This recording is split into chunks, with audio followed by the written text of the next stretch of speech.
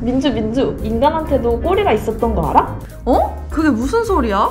원래 사람한테 꼬리가 있었는데 쓸모가 없어져서 퇴화하고 꼬리뼈만 남게 된 거래. 아 뭐야. 누가 그런 소리를 해. 말이 되는 소리를 해야지. 바보. 찰스 다윈이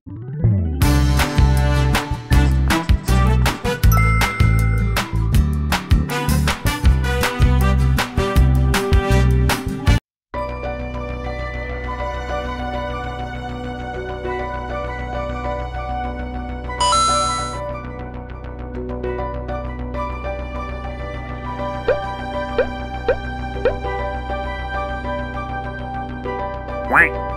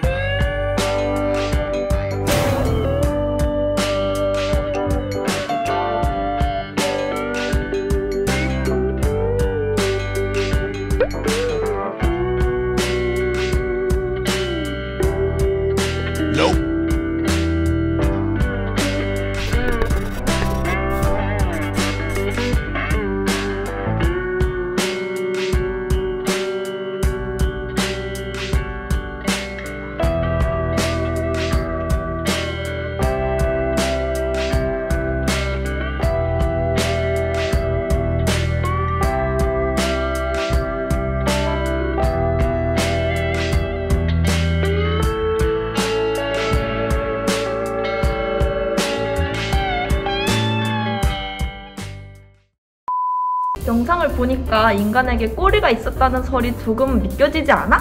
아 그래서 사람들이 막 꼬리치고 다니지 마 이런 말 하나? 응? 사람들이 너한테 꼬리치지 말라고 한다고? 아니 내가 꼬리를 친다는 게 아니라 너 꼬리치고 다녀도 아무도 안 넘어오지 않아? 으이그 한 대만 맞자 너 따라와